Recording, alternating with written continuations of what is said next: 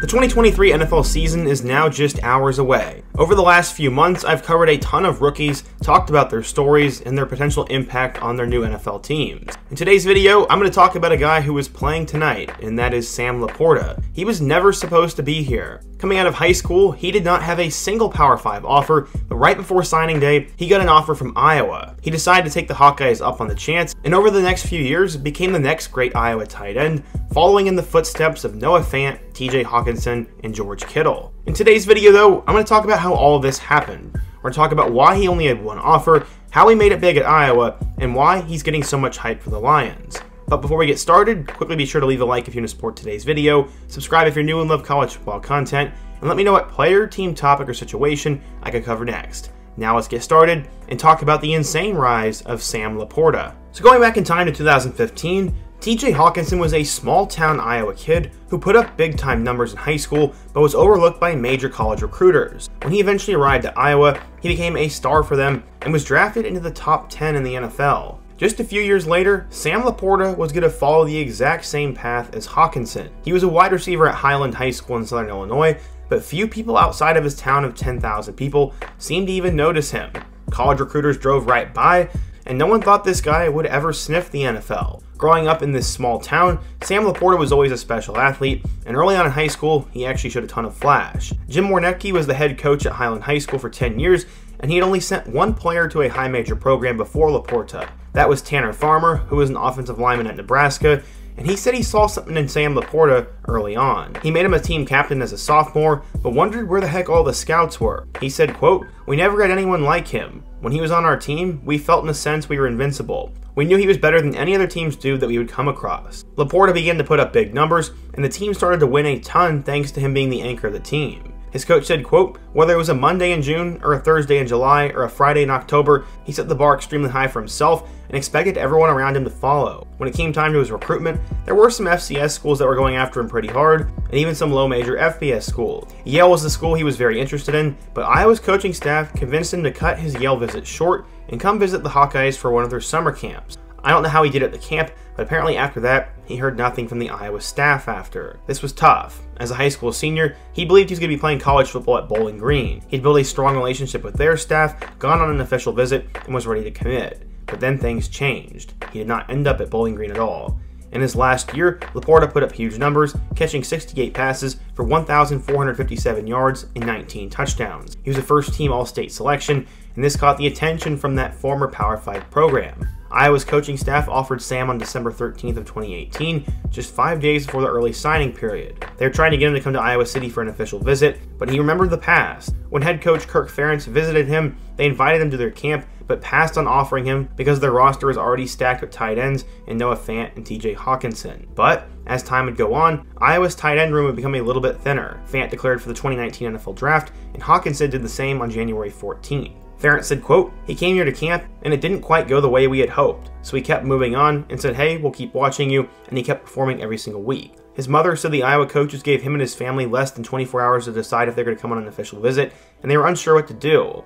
Kirk Ferentz called his mom trying to convince him to come to Iowa City, but Sam really didn't have much of an interest in visiting Iowa because he hadn't formed a great relationship and the last second offer didn't sit right with him. His mom said, quote, I think he was a little bit hurt by that. He started talking to more and more players, and they all got to go to the Iowa football games and stand on the sidelines and look at it from a different level. We never got that opportunity, so he was like, I feel I can play at that level, but maybe not because nobody's taking notice. His coach did eventually convince him to go on the visit, and once Sam got to Iowa City, the Hawkeyes pulled out all the stops. Their director of recruiting, Brian Ferentz, the special teams coach, and TJ Hockenson all went out to a steak dinner at the Iowa Chop House. They then went back to Hockenson's place to hang out with former kicker Keith Duncan. He eventually decided to commit to the Hawkeyes over Bowling Green, Yale, and Eastern Michigan. Iowa was his one and only Power 5 offer, and now he had a legacy to live up to. He said, quote, it's really cool to represent a great fraternity of tight ends coming from Iowa and being the next one in line. Sam had a record breaking career at Highland High School as he caught 50 touchdowns and racked up nearly 4,000 receiving yards. At the time, his touchdowns and receiving yardage ranked second and third in the state of Illinois high school football history. According to 24 7 Sports,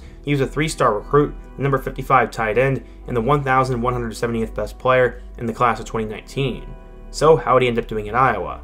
When Sam arrived at Iowa, he was fresh off seeing TJ Hockenson and Noah Fant go in the first round of the draft, and he was hoping to be next up. When you arrive as an Iowa tight end, it might take a year or two to learn the system, but apparently he was good enough from the very beginning, and by all accounts had an easy transition, but things weren't always easy for him.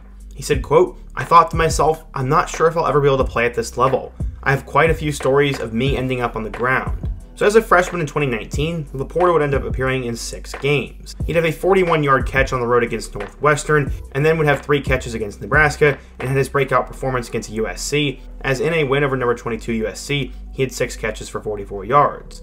On the year, he finished with 15 catches for 188 yards. Going into 2020, LaPorta would now take over as the main tight end, and had a couple of big games. He had a hot start as against Purdue and Northwestern, he combined for 11 catches and over 100 yards receiving, and then a couple weeks later against Illinois would catch his first career touchdown. By the end of the 2020 season, he had finished with 27 catches for 271 yards and a score. The flash and potential was there, but the stat column did not match up with it. Luckily, 2021, he would once again improve. He had six combined catches in their wins over number 9 Iowa State and number 17 Indiana, had seven catches for 65 yards and a touchdown against Kent State. Throughout the rest of the year, he was solid and would help Iowa get to the Big Ten championship game, where he caught six passes against Michigan. They'd end up getting to the Citrus Bowl, where against number 22 Kentucky, he caught seven passes for 122 yards and a touchdown. That was the best performance of his career so far, and he was named a third team All Big Ten selection after catching 53 passes for 670 yards and three scores. He could have gone off to the NFL, but he decided he wanted to come back and be a legend.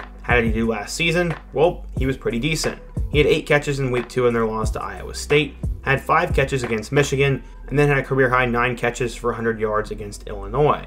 He also got 6 passes against number 2 Ohio State, a touchdown against Purdue, and went for nearly 100 yards against Minnesota. His final collegiate game would come against Kentucky, where in a 21 0 victory, he'd catch 5 passes. On the year, he caught 58 passes for 657 yards and a touchdown. In four years with the Iowa program, LaPorta was first all time amongst Hawkeye tight ends with 153 career catches and second all time with 1,786 receiving yards. He definitely was the next great Iowa tight end, but one thing I did notice is he didn't have that many touchdowns. You can partially blame that on the Iowa offense, but I never realized that he didn't have that many scores. That was going to be the one knock on his game going into the NFL draft, and LaPorta was considered a top 3 to top 4 tight end in this year's draft class. Eventually, he was drafted with the 34th overall pick in the second round by the Detroit Lions, and would join another St. Louis area kid in Jameson Williams.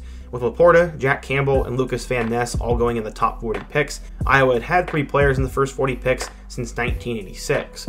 It was truly a historic year for them. Right away, LaPorta has been seen as the next great tight end and a missing piece for a Lions team that is trying to make the playoffs. This is not the first time that Iowa's drafted a tight end high, as they went for Brandon Pettigrew, Eric Ebron, and TJ Hockenson, and they were all supposed to be that weapon, but many are saying LaPorta is different. One Lions coach said, quote, he's earned it right now to be in that first team huddle with Jared Goff in that offensive line. He's proven that in the course of the springtime with all the work he has put in. LaPorta is getting a ton of hype. People are talking about him in fantasy, and he should be the starting tight end tonight for the Lions, but everyone should hold the brakes a little bit. Since the year 2000, only four rookie tight ends have, have surpassed 600 yards in year one. Those included Kyle Pitts, Jeremy Shockey, Evan Engram, and John Carlson. But George Kittle, arguably the best tight end in football, believes the future is extremely bright for LaPorta. Kittle said, quote, LaPorta is going to be fantastic. I think he's the best tight end in this year's draft class, and I think the Lions got a complete steal. I like the other tight ends too, but I spent two weeks training with Sam, and the way he moves, he's got that dog in him. He's kind of quirky, he's kind of goofy, but he's going to fit in well. Yeah, you could say Kittle may be a little bit biased because of where he went to school, but gaining that sort of respect from a player like that definitely has to say something and mean something. I think LaPorta is going to be a great weapon for Jared Goff this year, will hopefully help the Lions make the playoffs, and will be a consistent playmaker for the next 10 years or so. We'll have to wait and see, but what do you guys think? If you're an Iowa or a Lions fan, what do you think of Sam LaPorta? What other NFL player or rookie should I cover next? And what other topic on the channel do you want me to cover? Be sure to let me know down below. Leave a like if you want to support today's video, subscribe if you're new, and check out all my other videos on the end screen. Hope to see you guys again soon, but until next time, peace.